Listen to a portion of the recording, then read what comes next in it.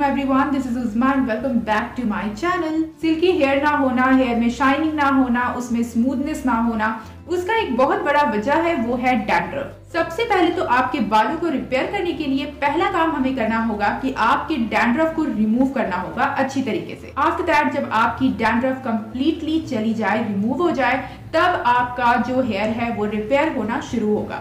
इसमें बहुत ज़्यादा ध्यान देने वाली बात यह है कि आपको डैंड्रफ होती कैसे है? डैंड्रफ के एक रीजन नहीं, बल्कि बहुत सारे रीजन है।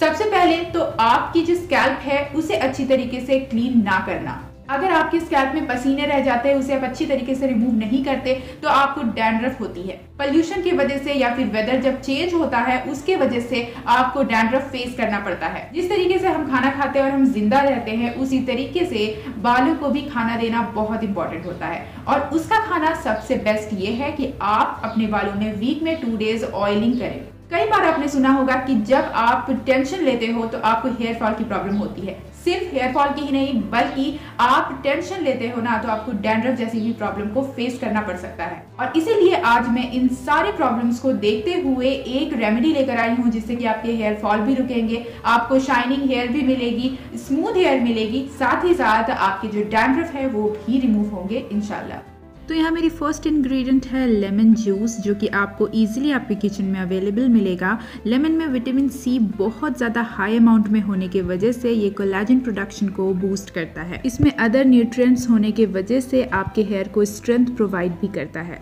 लेमन जूस में एंटीऑक्सीडेंट होने की वजह से ये आपके हेयर ग्रोथ को प्रमोट करता है, साथ ही साथ डैंड्रफ जैसे इशू को भी ट्रीट करता है। तो यहाँ टू टेबल स्पून आपको लेमन जूस ऐड कर देना बहुत ज़रूरी है कि आपकी जो हेयर है, आपकी जो स्कैल्प है, वो हाइड्रेट हो अच्छी तरीके से। तो इसके लिए मैं ले रही हूँ कर्ड अगर आपके बालों में बिल्कुल भी शाइन नहीं है, अगर आपके बाल बहुत ज़्यादा ड्राई होने की वजह से डैमेज हो गए हैं तो कर्ड का यूज़ ज़रूर करें। ये आपके बालों में शाइनिंग लाएगा और आपके जो हेयर के कंडीशन है, उसे सही करेगा। हेयर को हेल्दी बनाएगा। बनाएगा तो यहाँ पे मैंने थ्री टेबल स्पून कर्ड लिया है। नेक्स्ट आपको ऐड कर देना है कोकोनट ऑयल जो कि आपको ईजिली आपके घर में ही मिल जाएगा। यहाँ आपको three tablespoon coconut oil लेना है। कोकोनट ऑयल एक नेचुरल कंडीशनर का काम करता है। हेयर को नेचुरली सिल्की स्मूथ और शाइनी बनाने का एक नेचुरल तरीका है। अब इन सारे इंग्रेडिएंट्स को अच्छी तरीके से मिक्स कर दीजिए। इसे आपको अपने स्कैल्प पे अच्छी तरीके से अप्लाई कर लेना है। स्कैल्प में भी आप अप्लाई कर सकते हो और हेयर लेंथ में भी अप्लाई कर सकते हो। एक से डेढ़ घंटे तक आपको इसे अप्लाई करके रखना है और